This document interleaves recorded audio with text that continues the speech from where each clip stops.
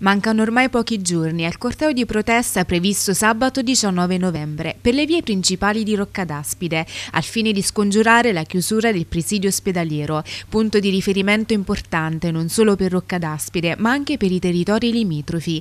Infatti il piano di risanamento aziendale dell'ASL Salerno prevede per l'ospedale la cancellazione di ben 50 posti letto e di tre reparti, ortopedia, cardiologia utic e chirurgia, lasciando attivi medicina generale, radiologia radiologie laboratorio analisi. Da qui la necessità da parte dei cittadini e del comitato Salviamo l'ospedale di Roccadaspide della Valle del Calore di una mobilitazione popolare per far sentire la propria voce. Invitiamo tutti a partecipare al corteo del prossimo 19 novembre, spiega Giovanni Francione, presidente del comitato. Non solo i cittadini e sindacati, ma anche enti e istituzioni, gli attori economici, le associazioni del territorio e le forze politiche, per dire in massa un secco e definitivo no no al depotenziamento dell'ospedale civile di Roccadaspide. Alla fine della manifestazione, conclude il Presidente, annunceremo le prossime attività che il Comitato intende mettere in campo. Non escludiamo la presenza di una nostra delegazione al primo Consiglio regionale, utile per far sentire anche la nostra voce.